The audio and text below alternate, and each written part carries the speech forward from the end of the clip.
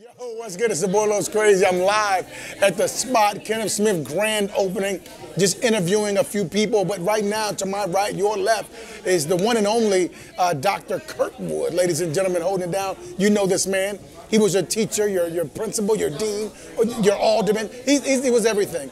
Um, tell me about your experience with Kenneth Smith, just from your first time meeting him to now kind of some, some experiences with him? Well, you know, I think my first time was when I was at the principal of North Chicago High School, and uh, his wife was one of the support people, and he came to take pictures for the young people. And so uh, that was my first encounter. I had heard about him through church and things of that nature. So uh, I knew his father. Uh, so it was good to know that he was involved in the community. And then as time went on, you know, we did some projects together. Uh, and when I ran for alderman in Waukegan, he helped me with my cover and some other uh, aspects. And so then uh, we got to know each other even better.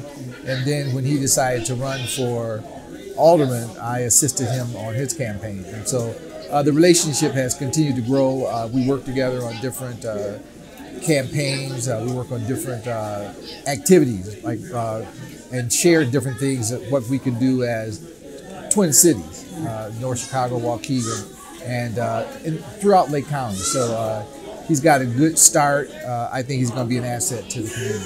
Absolutely.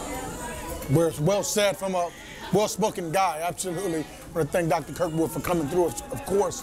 Um, and shout out everybody that's here today. It's the Crazy Riot Show on location with RF Productions. Y'all know what it is. It's Crazy. If you knew better, you'd do better. Need two sweaters. Y'all be good.